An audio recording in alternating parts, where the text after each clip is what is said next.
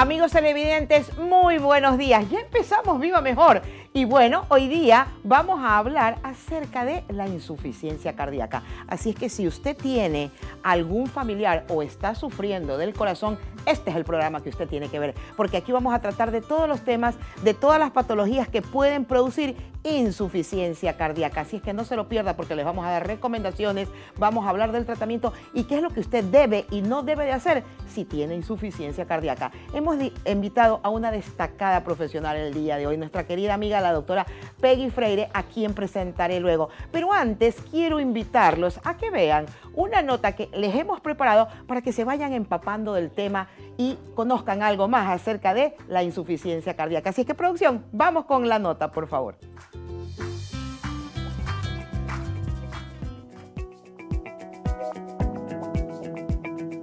Insuficiencia cardíaca. La insuficiencia cardíaca es el estado en el cual el corazón es incapaz de bombear la cantidad de sangre necesaria para suplir las necesidades metabólicas del organismo puede ser el resultado de cualquier trastorno cardíaco, estructural o funcional, que deteriora la capacidad del ventrículo para llenarse de sangre o expulsarla, y como resultado produce una acumulación de líquido en las piernas, los pulmones y otros tejidos del cuerpo, también conocida como insuficiencia cardíaca congestiva se debe generalmente a un trastorno en la capacidad de contracción del corazón, llamado también insuficiencia cardíaca sistólica, aunque en ocasiones se encuentra provocada por una deficiente relajación y por tanto un llenado inadecuado, conocido como insuficiencia cardíaca diastólica.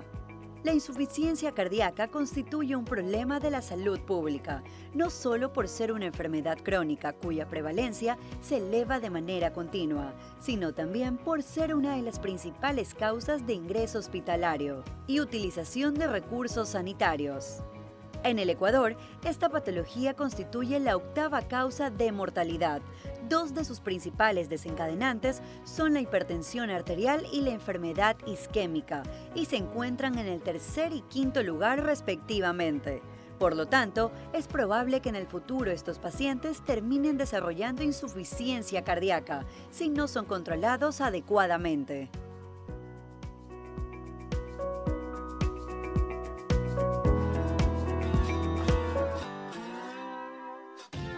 Excelente, me encanta esa nota que acabamos de ver.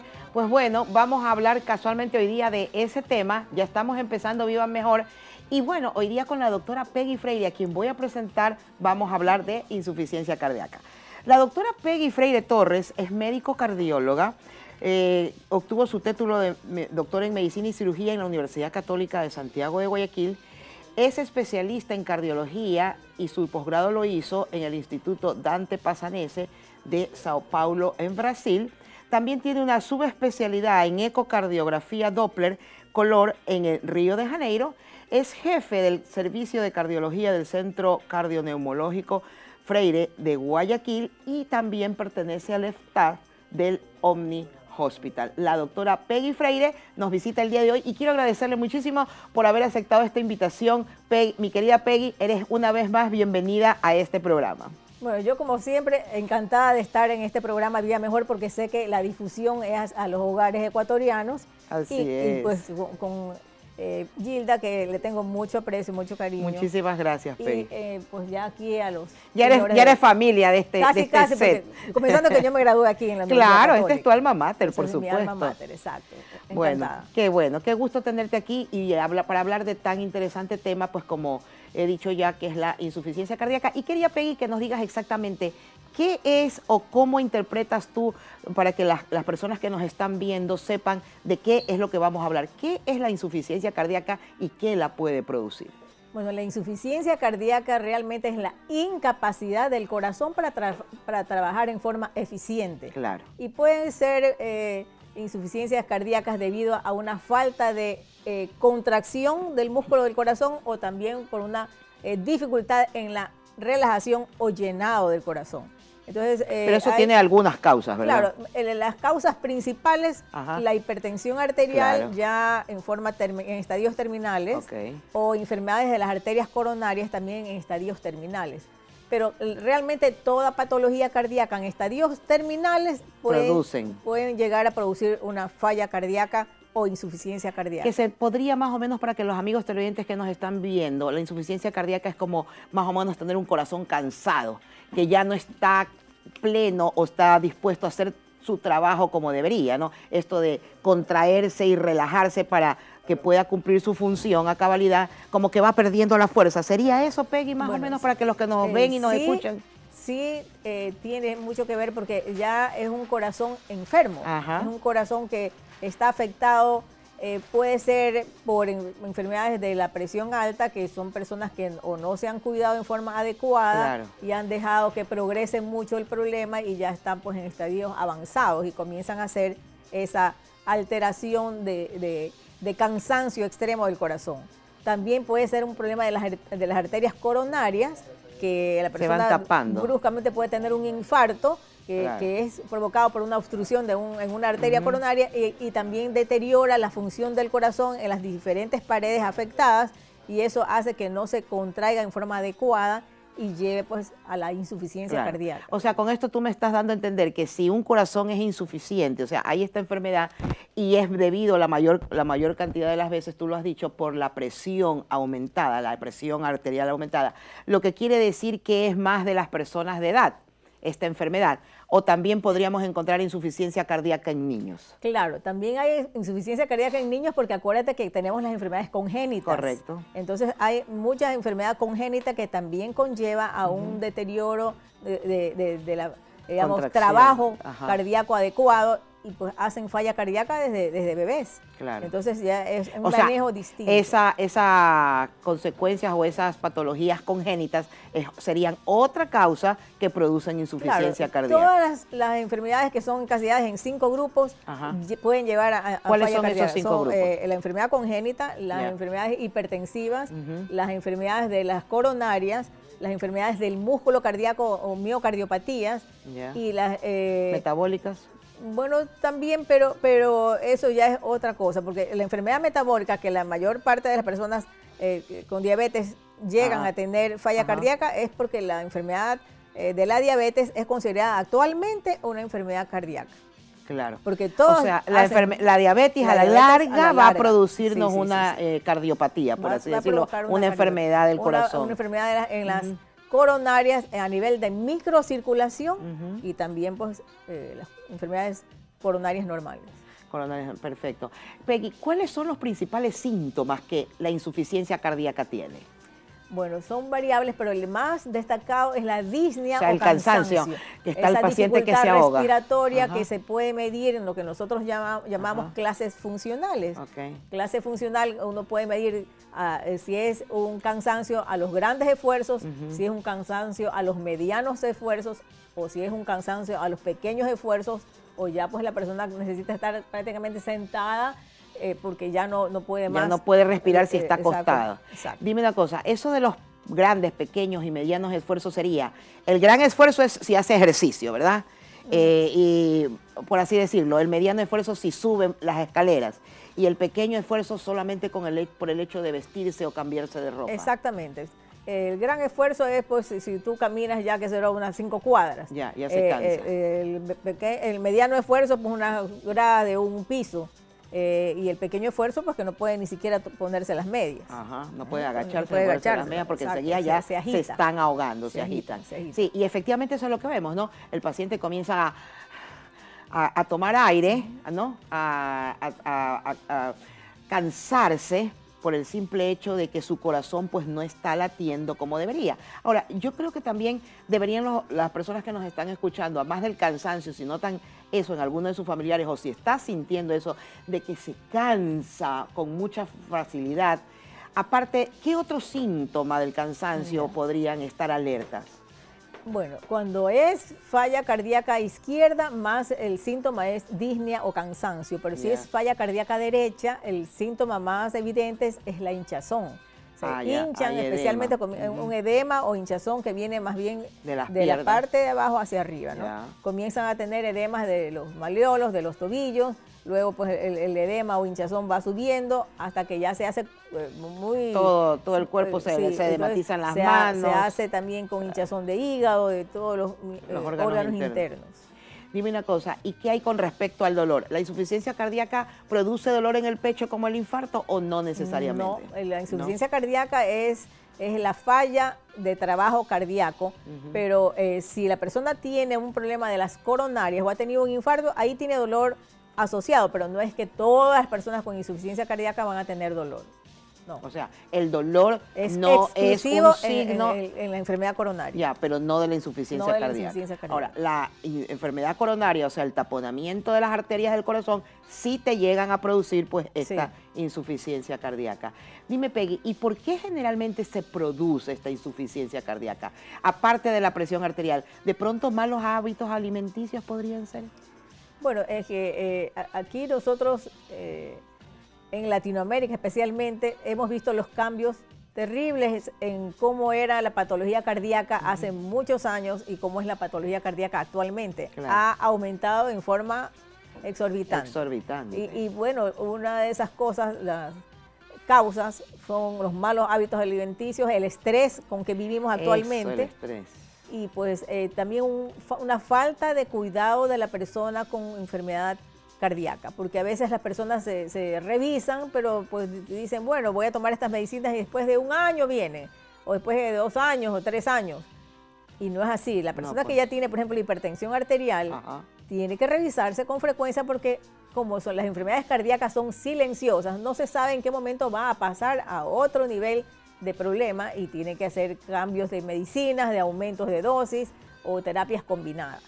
Dime una cosa, y este, ¿por qué métodos más o menos tú puedes diagnosticar ya una insuficiencia cardíaca instaurada, más de los síntomas? ¿Utilizas algunos métodos de diagnóstico para este tipo de enfermedad? El, eh, digamos, el examen de sangre que nosotros usamos es el péptido natriurético, que se ah, llama ProBNP. Entonces, ese examen no debe pasar de 500 en personas sanas, pero cuando se incrementan, entonces eh, eso, eso eh, equivale a tener un falla, una falla cardíaca o insuficiencia cardíaca.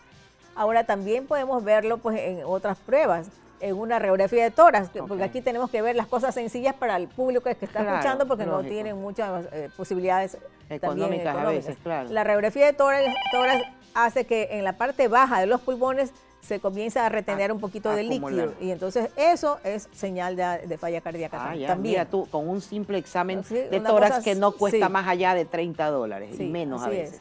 En todo caso, pues, y lógicamente que lo principal es la historia clínica, los síntomas, la revisión del cardiólogo que le va a ocultar los pulmones, que tiene ya estertores en las bases, se la va a ver con hepatomegalia cuando es falla derecha, o pues la disnea, que es lo, lo, destacante, destacante de, este problema. Mi querida Peggy, vamos a contestar una llamada que tenemos al aire. ¿Cómo está usted? Muy buenos días. Buenos días, mi nombre es Eduardo Jiménez, estoy llamando desde la península de Santa Elena Salinas con el ánimo de hacer una precisa pregunta en relación al tema. Por supuesto. Sí, mi querido Eduardo, adelante. Eh, en una oportunidad, eh, como referencia, ¿no? En una oportunidad fui diagnosticado como hipertenso. Okay. Y me, me mandaron, enviaron lógicamente a tomar una medicina.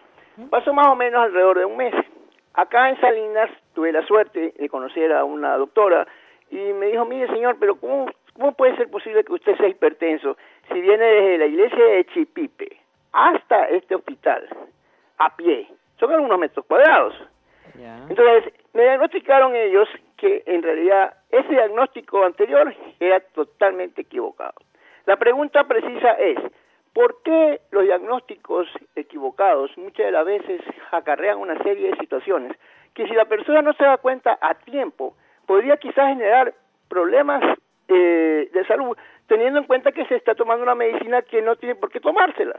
Primero. Y segundo, en relación al tema de los, de los, de los ritmos cardíacos, quisiera saber, y, esto es una pregunta muy, que tiene algo de buen humor, pero también es seria, quisiera saber por qué cuando el hombre se percata de una mujer muy simpática, el ritmo cardíaco se acelera a tal punto que prácticamente parece que va a dar un infarto. Que tenga unos buenos, buen día. Buenos días, mi querido amigo. Y hoy día, en la noche, si Dios quiere, mañana estamos en Santa Elena porque vamos a disfrutar del, lindo feriado que nos espera. Así es que muchísimas gracias por habernos llamado. Sí, y, y, quiero que por favor, Eduardo, se esté pendiente de nosotros porque después del corte le vamos a contestar a su pregunta. Así que espérennos que ya volvemos con más de Viva Mejor.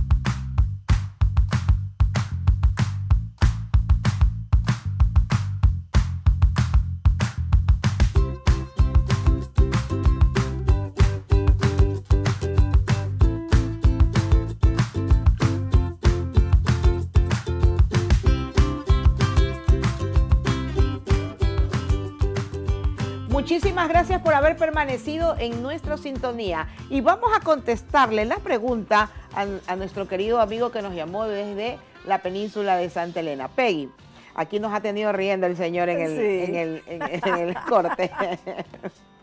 Sí, en realidad la, inquietud del señor sí se la vamos a contestar.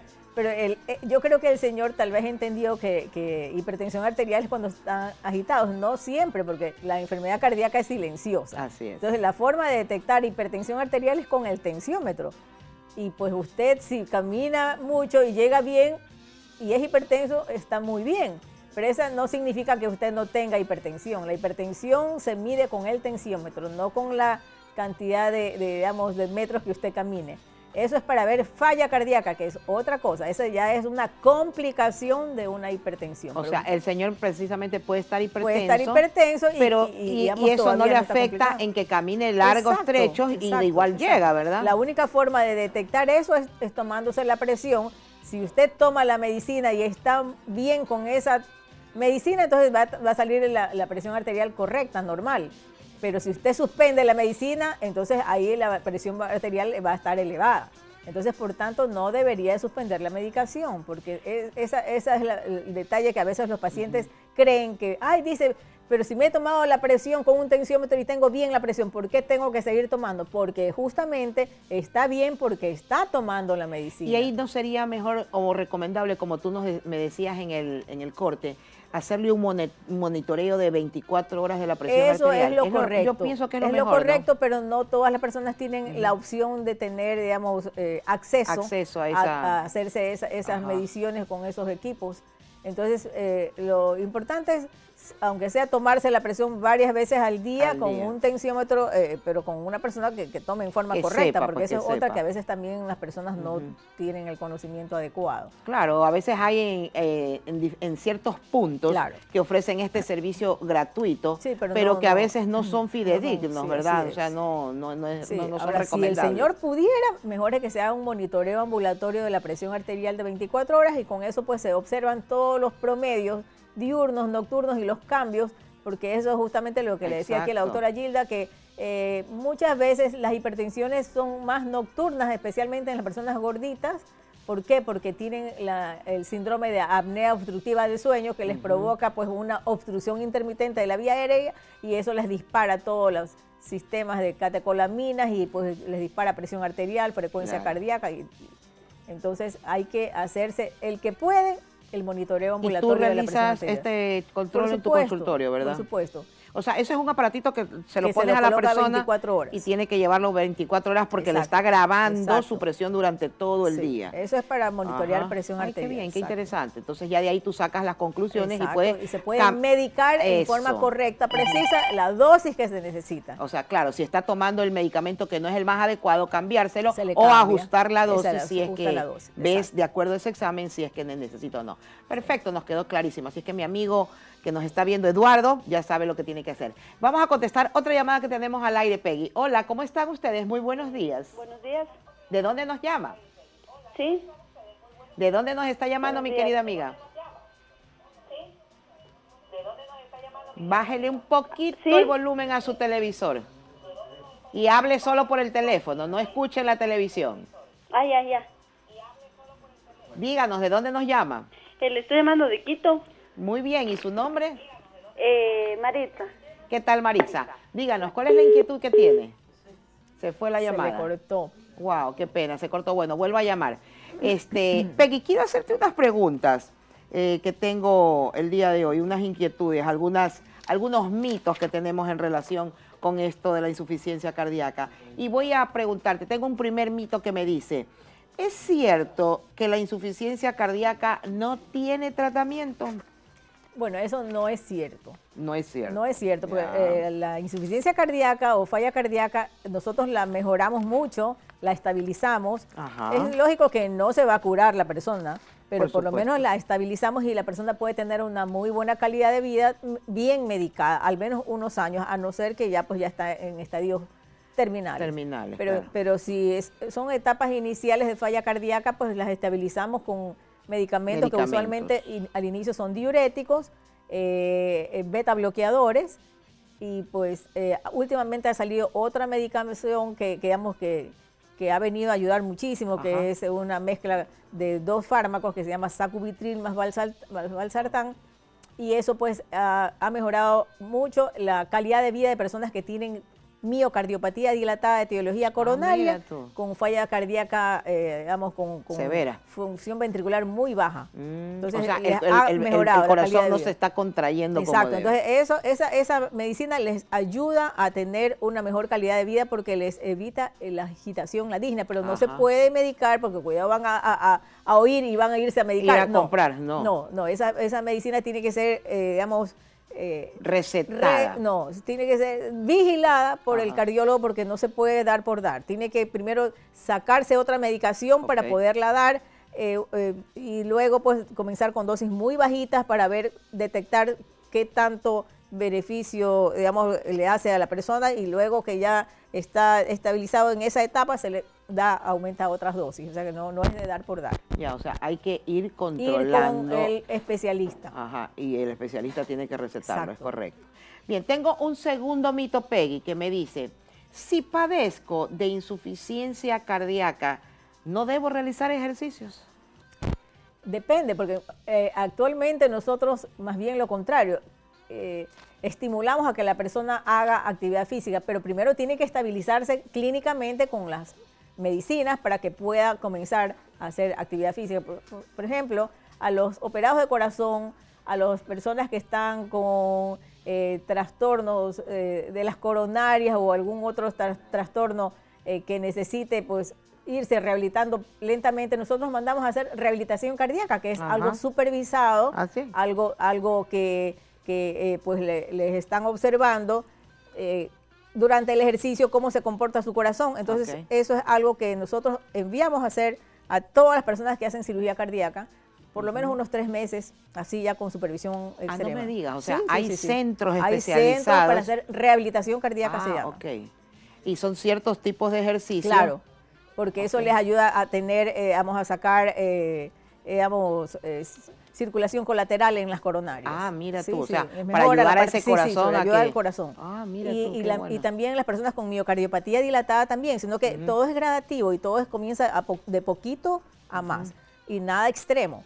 En todo caso, pues ahora hay muchas cosas para las personas con miocardiopatía dilatada, que es el grado extremo de, de, la enfermedad coronaria en insuficiencia cardíaca, eh, hay también las células madres. Ah, Lo que pasa es que las células madres no son eternas, sino que tienen un tiempo de, vida, claro. Entonces, son opciones. Yo tengo pacientes que han hecho todas las opciones y también hay ahora los marcapasos, que se usan también para ayudar a contraer mejor al músculo cardíaco. son los que se llaman resincronizadores, ah, porque muchos de ellos también tienen arritmias severas, entonces también se les, se les coloca este tipo de equipos médicos. Entonces, eh, nosotros tenemos pacientes relativamente jóvenes con estas enfermedades y que pues han hecho todas estas etapas de tratamiento y pues con eso se pueden mantener con una calidad de vida eh, pues aceptable. Aceptable, aceptable. O sea, aceptable.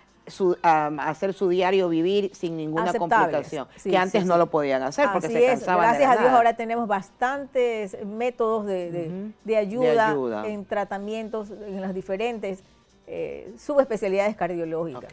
Ah, qué bueno, Peggy. Qué buena noticia que nos das. Y eso de la, de la gimnasia cardíaca me ha encantado. Vamos a tener que hacer un programa en relación a eso, porque sí, efectivamente, ya si el paciente eh, está sufriendo el corazón, el primer, lo primero que uno se imagina, uy, no puedo hacer, no puedo hacer esfuerzo, no, puedo hacer Las primeras etapas no, pero, pero digamos poco a poco se va incrementando hasta que pues la persona ya puede ir, eh, sobre todo en, las que son revascularizados.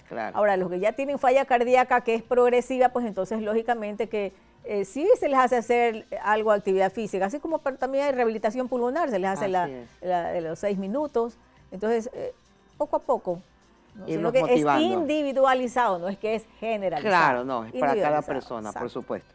Bien, tengo un tercer mito que dice, la insuficiencia cardíaca es una consecuencia normal del envejecimiento. Nada que ver, ¿no? No, no, no, pero sí es mucho más frecuente. Lógicamente que después de los 65 años en que las fibras musculares ya se van poniendo más rígidas y existe pues lo que nosotros llamamos ya la disfunción diastólica o una falta de, de, la dilatación de, la, de los tejidos cardíacos para, para digamos, ser un receptáculo para volver a tener una contracción. Entonces, en el, momento de la dificultad diastólica, eso también puede provocar en forma retrógrada una falla cardíaca. ¿Que es más frecuente en las personas ancianas o personas adultas mayores? Sí, pero no, no es exclusiva, porque hay personas que también son más jóvenes y tienen el problema. Pero eh, todas estas cosas, como les dije, pueden mejorarse con medicación. Pueden mejorarse. O sea, todo tiene una, un remedio, por así decirlo. Bien, tengo otro mito más y me dice, si mi corazón deja de latir, ¿es por sufrir de insuficiencia cardíaca? No necesariamente porque el corazón puede dejar de latir también por problemas de arritmias, puede dejar de latir porque eh, tuvo un infarto del miocardio eh, masivo, masivo y, puede hacer muerte súbita, o sea que no es exclusivo de la falla cardíaca. Eh, hay muchas enfermedades cardiológicas, por ejemplo, una hipertensión pulmonar severa, por una enfermedad congénita, mil cosas que pueden provocar eh, que el corazón cese de latir. O sea que no es solo exclusivo de la falla cardíaca. Perfecto, mi querida Peggy, muchísimas gracias. Bien, entonces con esto vamos a irnos a un corte porque después los quiero invitar a que vean otro bloque donde vamos a hablar de las prevenciones que debemos de tener para evitar llegar a la insuficiencia cardíaca, que como ustedes se habrán podido dar cuenta es una enfermedad que empieza silenciosamente y que debemos que tener eh, pues bueno, mucho cuidado de si ya vemos los primeros síntomas aparecer, acudir inmediatamente donde el especialista, porque son los cardiólogos los que deben de tratar estas enfermedades. Así que ya regresamos con más de Viva Mejor. Espérennos, que ya volvemos.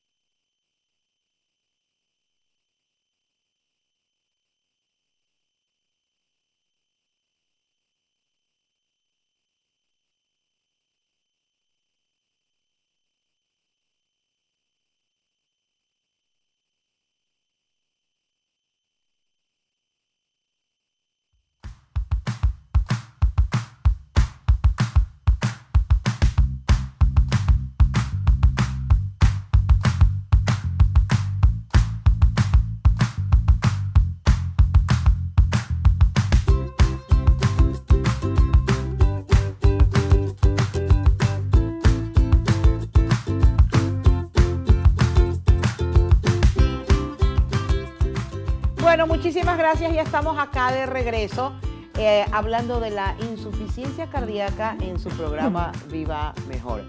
Mi querida Peggy, eh, quiero que nos comentes ahora, que nos des tus sabios consejos, ¿qué debemos de hacer si ya tenemos insuficiencia cardíaca?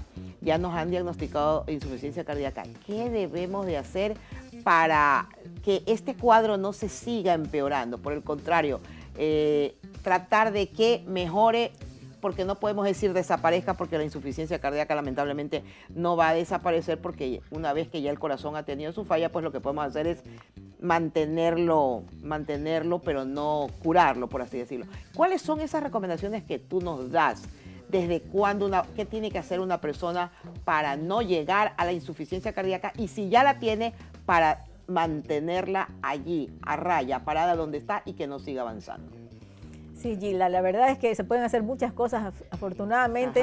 Eh, eh, digamos, eh, yo lo que les digo aquí a los, a los televidentes es que traten de hacerse unas revisiones, especialmente... O sea, controles.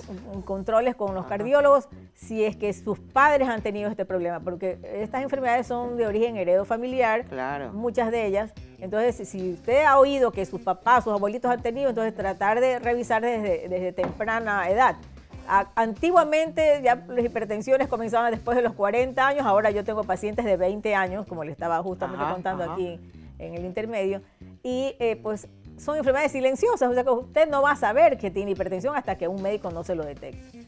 Eh, rara vez hay muchos síntomas, pero la mayoría de las personas que, no claro, tienen síntomas. Eso se dicen que la hipertensión es el enemigo silencioso que tenemos porque no nos da síntomas. a veces es un hallazgo en una consulta en que van donde, el médico. Donde y a mí, un ginecólogo. Y a mí me han pasado. El ginecólogo le dice, Exacto. ¿pero usted tiene presión alta? No, dice el paciente, no, yo no soy hipertensa. Pero no, es hipertensa, sino que no siente el problema. Claro. Entonces eh, hay que revisar desde edad temprana y pues si ya eh, tiene la enfermedad, tiene que comenzar a hacer restricción de sal, que es, el enemigo. La sal, la sal es el enemigo de, la, de la falla cardíaca, de la insuficiencia cardíaca. Y luego también nosotros damos diuréticos, beta bloqueadores, ya son medicinas que nosotros damos de acuerdo al, cada caso, pues claro, hay que dar las dosis, porque usualmente damos mini dosis, dosis pequeñas. No damos dosis, dosis muy altas. Vamos a contestar una llamada que tenemos, Peggy, al aire. ¿Cómo le va? Muy buenos días y de dónde nos llama. Sí, buenos días, doctoras. Una, una pregunta a la doctora, por favor. Eh, verá, yo soy hipertenso. Estoy tomando, estoy tomando eh, potásico, pero también tengo problemas en la próstata y el, el urólogo me recetó la doxazocina. Entonces estoy tomando los dos productos que parece que son también indicados para la hipertensión. Eh, la, la situación mía es de que de que yo hago yo sí hago deporte pero eh, estoy con problemas un poquito de mareo y yo también con problemas de, de, agotamiento. ¿Será causa por los dos eh, productos que estoy tomando? Gracias, doctor. Perfecto, muchísimas gracias por su llamada, mi querido amigo. Peggy, ¿qué opinas tú? Sí, bueno, eh, eso es muy importante, una pregunta muy interesante porque la doxazocina o medicinas antiinflamatorias prostáticas usualmente también bajan la presión. Entonces hay que tener mucho cuidado cuando se es hipertenso, se toma antihipertensivos, revisar si de pronto a lo mejor va a tener que bajar la otra dosis de losartán y pues eh, usualmente la, medicina para la próstata nosotros la damos en la noche. La razón es porque si se toma durante el día puede provocar un poco de desvanecimientos. El mareo que está sintiendo. Ese mareo pudiera ser que sea por la medicina de próstata que tampoco no la puede suspender porque si no se le va a agrandar la próstata. Entonces tiene que ver que la medicina que toma para la próstata la toma en la noche y la medicina que toma para la presión la tome durante el día. mañana. Y pues de pronto revisar si esa dosis es, la adecuada o a lo mejor tiene que modificar y disminuir un poquito la otra dosis de la, del antihipertensivo, pero para eso tendría que hacerse un monitoreo de presión o alguien médico que le tome pues en la mañana, al mediodía, de tarde, de noche las presiones y establecer si está ocurriendo ese, ese problema. Claro, porque lo que hay ahí, lo que está sucediendo ahí es que hay un sinergismo de medicamentos. Entonces, ambos medicamentos están bajando la presión y por eso es que tú le recomiendas un control más periódico de su presión arterial, pero de alguien que sepa. Que alguien que sepa. No puede usted suspender la medicina, tampoco no. No, no es recomendable. Entonces, un mayor control de la presión y en último de los casos, si usted tiene acceso a un monitoreo de 24 horas de la presión con un aparatito que se coloca en, usted y que lo lleva durante todo el día y que va a ser controlado después por el cardiólogo sería lo ideal, porque de esa manera ya vamos a tener una visión amplia y clara de qué está ocurriendo con su presión arterial y si está habiendo o no sinergismo de esos dos medicamentos para bajar la dosis del uno y subirla del otro en todo caso. Pero es algo controlable, así que eh, ese es nuestro consejo, mi querido amigo, y muchas gracias por habernos sintonizado y estar con nosotros y habernos llamado. Eh, mi querida Peggy, ¿cuáles son las otras eh, recomendaciones que estábamos hablando acerca de este padecimiento de la insuficiencia cardíaca? Hemos dicho que bajar la sal, la sal es el enemigo número uno y concuerdo contigo eh, pues en, este, en esta patología porque sube la presión arterial y aumenta la insuficiencia cardíaca. Entonces tenemos que comer bajo en sal. Exactamente. ¿Qué otra, recomendación? dieta hiposódica, eh, no comer en exceso, hay que comer en dosis, en porciones pequeñas. Pequeñas. Para tratar de, si la persona tiene sobrepeso, de bajar un poco de peso. Eh, tratar de, eh, evitar esfuerzos mayores. la comida tiene que ser bastante saludable, nada de frituras, de, de condimentos que sean pues que deterioren más este... Ni muy grasosas ni muy condimentadas. Eh, hace que, el, sistema digestivo trabaje más y eso le, aumente más la, el trabajo cardíaco. Eh, bueno, pues y sobre todo la medicina, pues tiene que estar con, una medicina estricta eh, y también la ingestión de líquidos. El sobrecargar de líquidos también es es contraproducente. Es muy malo para la falla cardíaca. Es más, muchas personas, por ejemplo, nosotros que vemos pacientes hospitalizados, cuando se operan, los sobrecargan de líquidos, por ejemplo. Claro. Porque, eh, eh, entonces, porque los están hidratando los con están los hidratando, entonces porque el conteo de gotas, las gotas le ponen aumentada para que se les termine más rápido, por ejemplo. Claro. Hacen falla cardíaca, comienzan a, retener líquido en los pulmones, especialmente en personas mayores. Ah, o sea, hay que tener mucho cuidado porque no es tan sencillo como las personas piensan, sino que se ven muchos parámetros. Ok, entonces hay que tener un poquito más de cuidado con lo que se come, con lo que se bebe y hacer un poquito más de actividad física porque no es contraproducente para la insuficiencia cardíaca, por el contrario, ah, eso nos ayudará a controlar nuestro en peso. Etapas tempranas en hay etapas que hacer tempranas. Así es. actividad física, ya eso ya en etapas ya más avanzadas es que es muy debe ser con muy control, controlado. Con control. Entonces, eh, en etapas tempranas, pues lo que hay que evitar también es todas las otras cosas que van a deteriorar al al corazón, como el cigarrillo, el alcohol, todas estas cosas. Esos que son malos hábitos, como por ejemplo el tabaquismo, el alcoholismo. Eso es muy mal. Prohibido totalmente. Totalmente prohibido.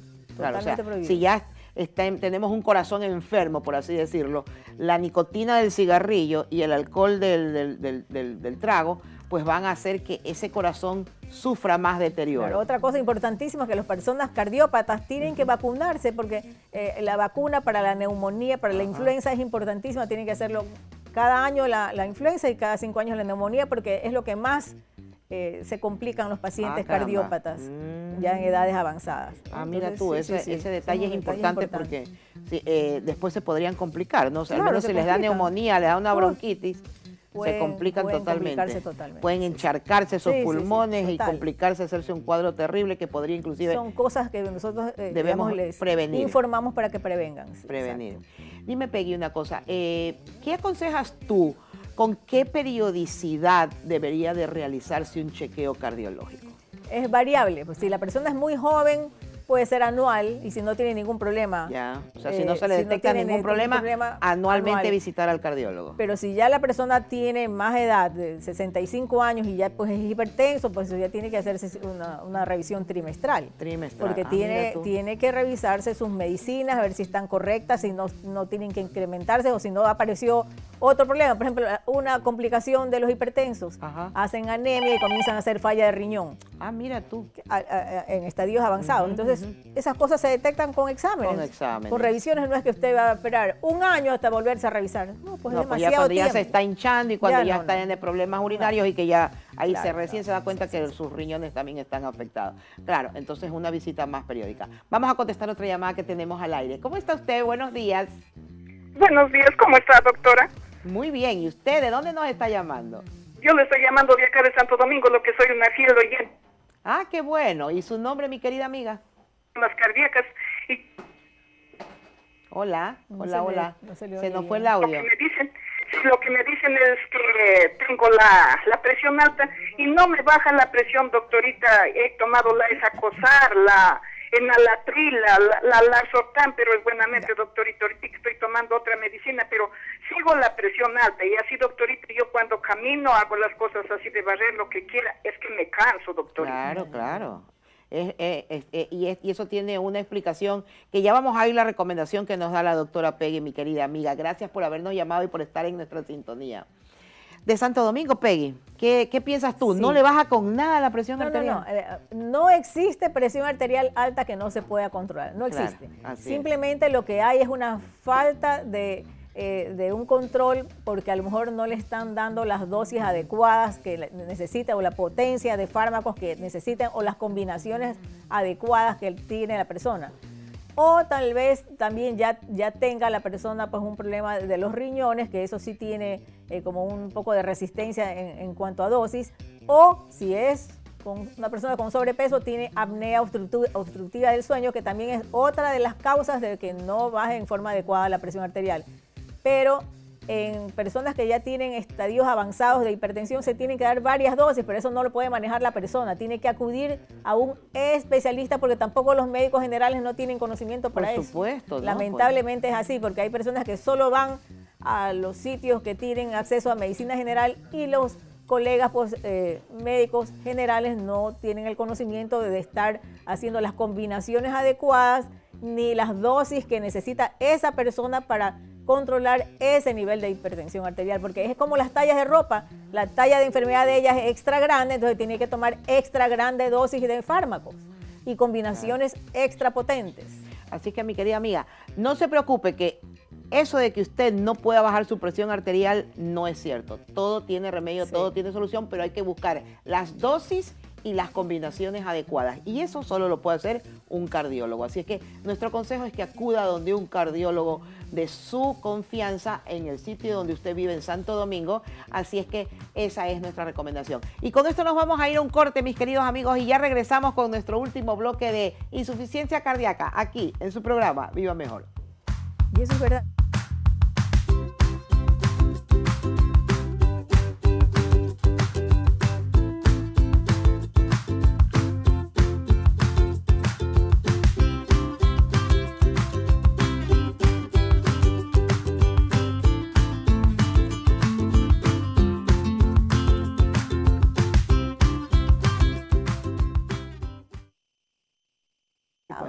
Pero Santo Domingo es una ciudad más o menos. Sí, más o menos, pero no creas que, a veces también las personas no, no, primero al comienzo ellos no le dan importancia.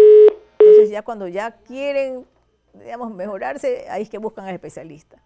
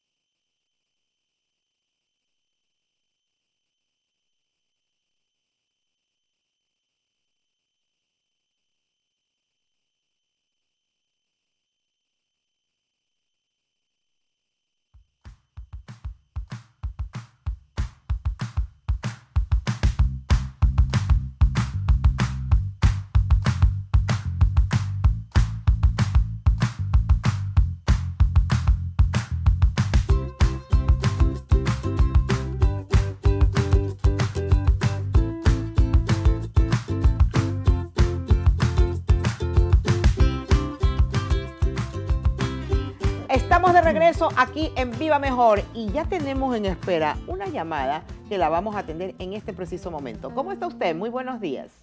Buenos días, doctorita. ¿De dónde nos llama? Le estoy llamando de Riobamba. Ay, qué lindo. La Sultana de los Andes, mi querida ciudad de Riobamba. ¿En qué la podemos ayudar? Mire, yo tengo 68 años y, y, me, y tomo para la presión arterial los sartán de 100 miligramos. Okay pero siempre tengo a veces unos 140, 80, 150, 90, me varía esa, esa cantidad de la presión arterial.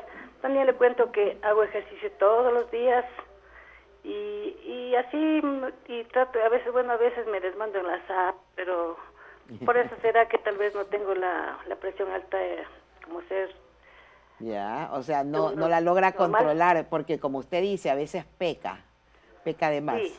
Ok, ya, perfecto. Ya le vamos a dar unos consejitos a mi querida amiga y gracias por sintonizarnos desde esa linda ciudad de Riobamba. Peggy. Sí, ella mismo dice, me desmando en la sal. ya dijimos que la sal es el peor enemigo para la presión y el corazón. Pero ella, lo que en, el caso de ella, lo que hay que aumentar es la dosis eh, digamos, con otro fármaco. No, no, la losartán ya no la tendría porque ya la tienen 100. Ella debería combinar con, por ejemplo, una anglobipina de 5 miligramos adicional a la losartán que ella toma. Ah, ok. Ella, ella tiene que tomar ya terapia combinada, terapia doble. O sea, ella tiene lo máximo de los sartán. Sí. Ya de ahí no hay que más que darle, eh, hay que combinar. Entonces, eh, hay que combinar con otro fármaco. Ella, ella no debe suspender la losartán, pero debe combinarla con otra cosa adicional y lógicamente bajar, la, sal. bajar la sal y, digamos, un con mejor control eh, eh, en, sus hábitos. Nosotros llamamos eso, eh, digamos, tratamientos no farmacológicos, que es el, control de la sal, los hábitos de vida bien saludables, no, no, excederse en el peso, o si tiene sobrepeso, bajar de peso, todas esas cosas ayudan a mejorar el control de la hipertensión. Claro. Peggy, para que las personas que nos están viendo, ¿cuál es lo máximo que debemos de tener de presión arterial para no tener o ser catalogados como hipertensos? Bueno, hasta, excelente pregunta, Gilda.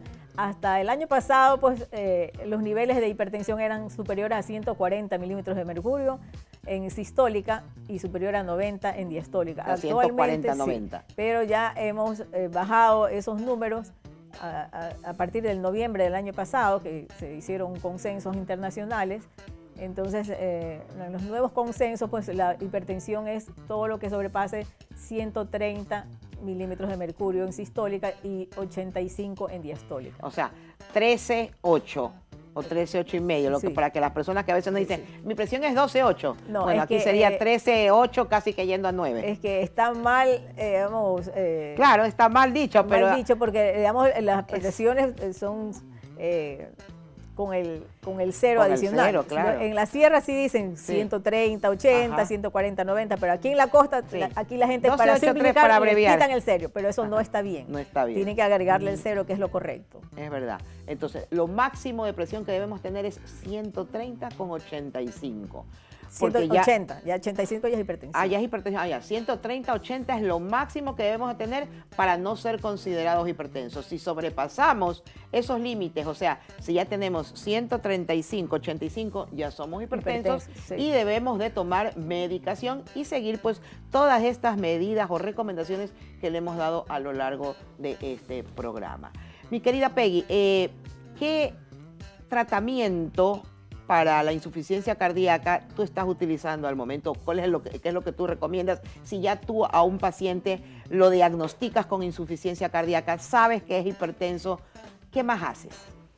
Bueno, primero, pues ya dijimos la, restricción de sal, pero nosotros damos diuréticos, ah, pero el diurético tampoco no lo podemos dar en forma desmedida, tenemos que evaluar, cada persona es diferente, porque hay diuréticos que eliminan potasio, otros diuréticos que retienen potasio, eh, y a veces damos eh, doble diurético dependiendo del caso o a veces damos medias tabletas, a veces damos en tableta entera, pero eso hay que evaluar cada caso, no se puede generalizar, porque si los televidentes están oyendo ahora se van a querer lanzar los, mm. los diuréticos, no, no, pues. deben hacer eso porque esos son medicamentos de, uso delicado. Y de cuidado. De uso delicado. También usamos beta bloqueadores, eh, en dosis bajas usualmente para falla cardíaca. Eh, inhibidores de la ECA, si son eh, personas que no tienen muchos recursos o bloqueadores de la angiotensina 2, o sea, son, son medicamentos que los manejamos los cardiólogos. Claro. Eso no puede manejar un médico general porque realmente no, por supuesto, por supuesto. no están informados del manejo. Y lo que salió últimamente, que hace poco tiempo ha salido, que es el sacubitril, ¿no? que es eh, un medicamento que mejora mucho la calidad de vida de los pacientes con especialmente miocardiopatías dilatadas, o sea, daño de la musculatura cardíaca que no tienen buena función ventricular, que son los coronarios que ya están en etapas terminales. Claro. Dime una cosa, como yo sé que tú eres ahorita la jefe de cardiología del Omni Hospital, ¿están haciendo algún control, algo así que promueva la salud cardíaca en la población?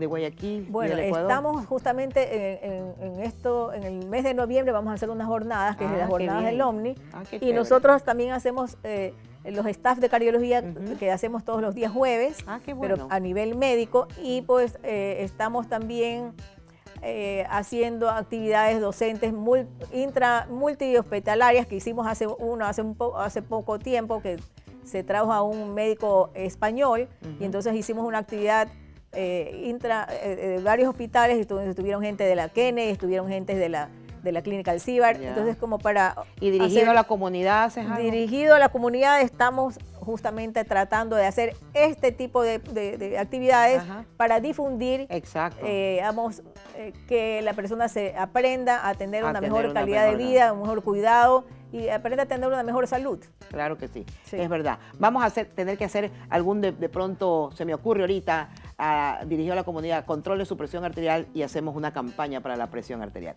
Vamos a contestar una llamada que tenemos al aire, mi querida Peggy, así que adelante con la llamada, por favor. Muy buenos días. ¿Cómo está usted? Buena bondad. Mire, yo me llamo Fátima, llamo desde aquí mismo de Guayaquil. Ah, qué bien. Mi pregunta es la siguiente. Yo estoy tomando la Micaris Anglo 80 sobre 5 y en realidad mis riñones funcionan bien. Yo bajo la sal, la azúcar y las grasas me controlo en todo eso. Tengo un peso, digamos, bajo, no tengo obesidad, pero tengo un problema de que últimamente estoy preocupada porque aconsejan los médicos que también uno tiene que tener un balance en el organismo de que no le falte el potasio, la sal, todo eso. Además, yo tengo osteoporosis. Entonces, quiero saber qué me aconseja la doctora, porque yo no he sido tratada por un cardiólogo en sí, sino un médico clínico internista muy bueno. Eso es todo. Muchas gracias. Muchísimas gracias a usted, mi querida amiga, por sintonizarnos. Peggy, hemos hablado de eso algunas veces. Sí, sí. Bueno, eh, parece ser que la señora tiene un muy buen clínico internista porque la medicina que le está dando... Y muy bien informada ella. sí, es una muy, buena medicina y, está ya, ya una, tiene ya una combinación. Ajá. Y eh, por eso es que ella se está manteniendo bien. Claro. Bueno, el, otro asunto de la osteoporosis son otros temas, pero en todo caso en la parte de, la presión arterial parece que está bien manejada.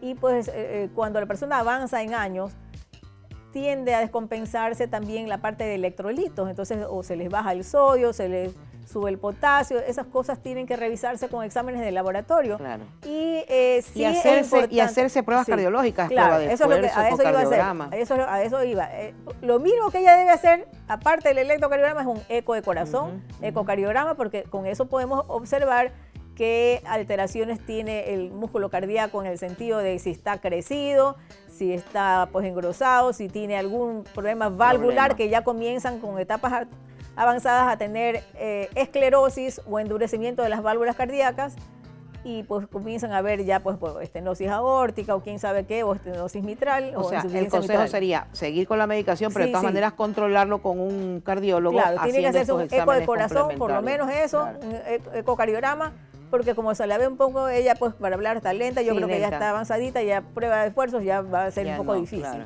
Entonces, pero por lo menos un ecocardiograma sí debería hacerse y una visita a un cardiólogo para que de todas maneras le revise a ver cómo está su situación actual.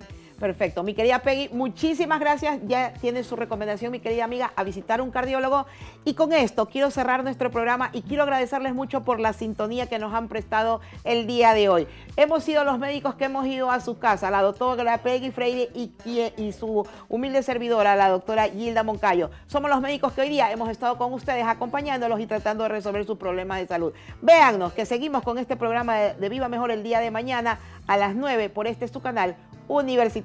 Hasta mañana.